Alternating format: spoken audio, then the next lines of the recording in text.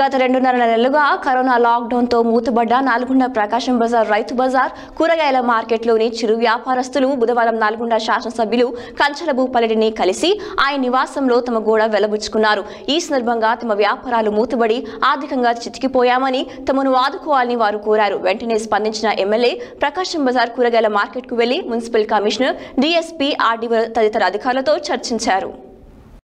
నల్లగొండ జిల్లా కేంద్రంలోని ప్రకాశం బజార్ రైతు బజార్ కూరగాయల మార్కెట్లోని చిరు వ్యాపారులు బుధవారం నల్లగొండ ఎమ్మెల్యే కంచర్ల భూపాల్ రెడ్డిని ఆయన నివాసంలో కలిశారు.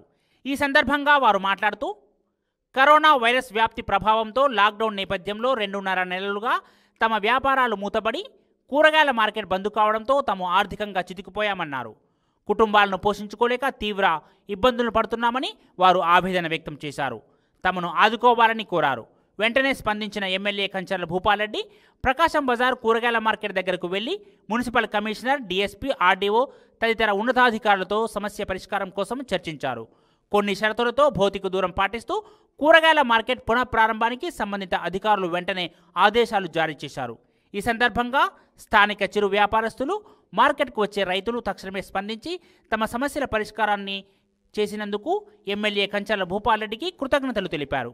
ఈ కార్యక్రమంలో municipal chairman Mandari Saidi Reddy councillor Pilli Ramaraju Gogula Srinivas Yadav ZP cooption సభ్యుడు జాన్ శాస్త్రి తదితరులు పాల్గొన్నారు.